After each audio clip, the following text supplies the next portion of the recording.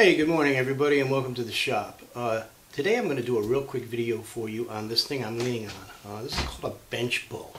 Uh, I know I mentioned this about six months ago when I actually built this thing uh, and then kind of never followed through. I forgot about it and uh, darned if I wasn't cleaning up my computer last night because I filled up the hard drive again. It's amazing how much these videos fill up a computer.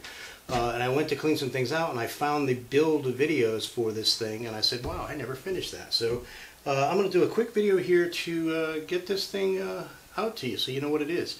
Um, let's talk about what it is first. The bench bull is a clamping device. As you can see, I have it clamped to my bench right now. What it does is it allows you to get your working, uh, your workpiece at a better height. Um, some guys like to do all kinds of things on these things. I use this primarily for one thing and one thing only. That's when I'm making drawers or boxes and I need to dovetail ends. And the way you do that is you take one of these quick grips, quick grip clamps, stick it through like this,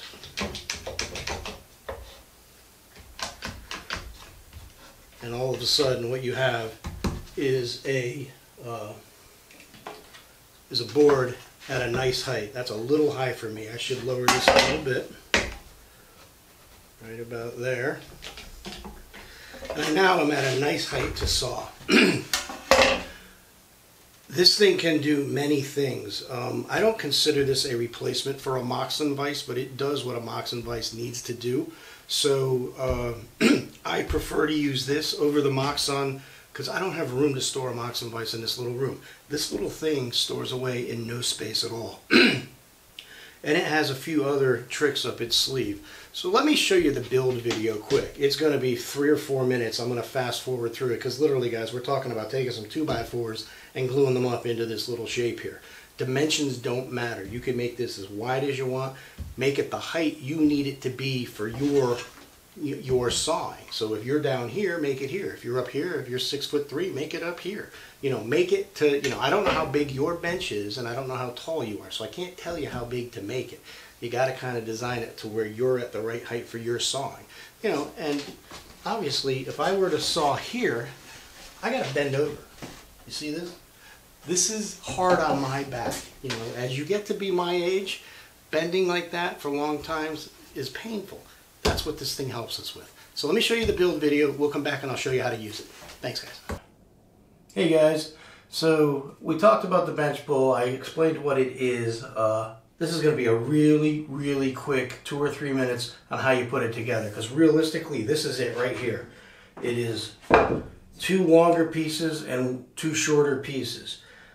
You literally line up the two shorter pieces to give yourself a gap and then have the two longer pieces like so, flush, glue this together. The only dimensions that matter for this thing, and I know you don't know what to do with it yet, so it's a little confusing, but the, the, the height, this height is the only dimension that matters. This width means nothing. You can make this thing this wide, you can make it this wide. It's really what you're going to do with it. And the only dimension that really matters for this is this top height. And this top height is for sawing.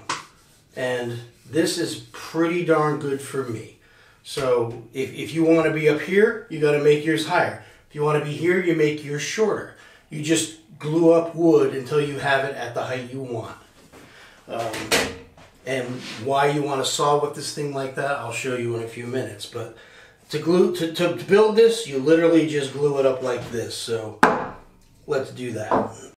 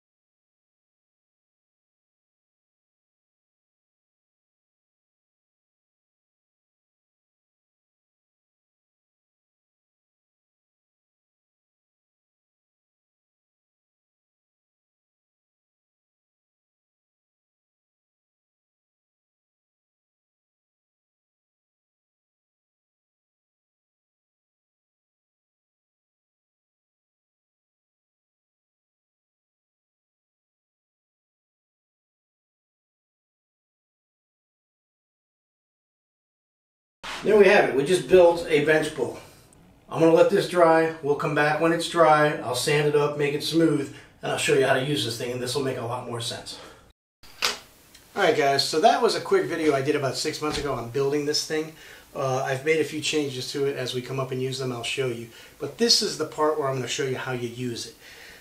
The number one with a bullet used for me for the bench bull is this configuration right here. What I've done is I've taken a quick clamp. I go through the hole here. This is like the clamping hole. I take my board and I get it configured. I squeeze the clamp. I get myself set for sawing. And, you know, this is where you would saw dovetails. Now, you notice I'm a little uncomfortable here. Normally, when I do this, I move the bench away from the wall some. Um, as you can see, I am Am just about just about hitting my elbow on the back wall here. Um, but obviously, this works fine. It's very secure. The board is nicely held. It's up at a nice height for me to saw at. Instead of being down here where I'm bending over, I'm up here standing upright making my cuts. It's nice and solid. By far, in my mind, the best use for the bench bull. Okay guys, a lesser used uh, a lesser used uh, thing for the bench bull, but effective for some people because it saves your back. As you can see, I have three screws here, and these screws are buried in this side top, but they make an effective plane stop. So if I were to want to plane a bunch of small parts, let's say I was making a bunch of small boxes, I don't want to be down here planing on my bench. I'd rather be up here planing. So I can, uh, you know, take these small parts, put them up here, and run my plane nicely against those screws and plane my surfaces flat. Um, you know, it's only really good for the size of the bull. You can make a bench bull this long if you wanted a longer one to do that.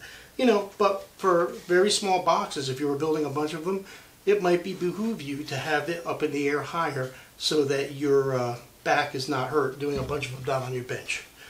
I don't personally do this, but it is a use case. And when you're done, just uh, bury the screws back and leave them there. You know, just countersink them in there and they're there ready for you anytime you need to use them. Okay, I'm going to reconfigure this and we'll do a few things on the side. Alright guys, another method of working uh, on a bench bull. As you can see, I've modified this since the build video. I've put some dog holes in here, and I also put a cleat on the bottom of this thing. You can see right here, piece of hardwood. So when I can put it on the bench, put it up, there's a cleat there. Um, what this can allow me to do is, let's say I cut those dovetails, and now I want to uh, chop them out. We can grab our chisel, and I am standing at a nice height. My back is straight and I am able to chop those, those out. Back standing straight.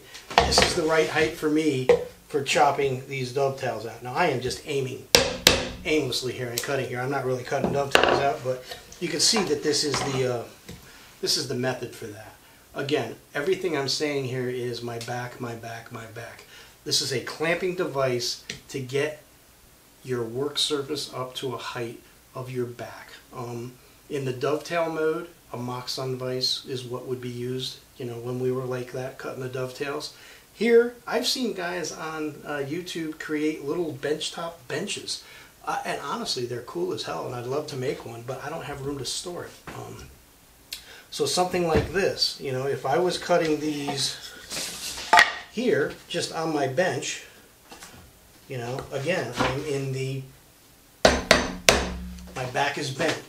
Um, all this is, is a tool to help you uh, keep your back straight and work at a comfortable uh, height for your back.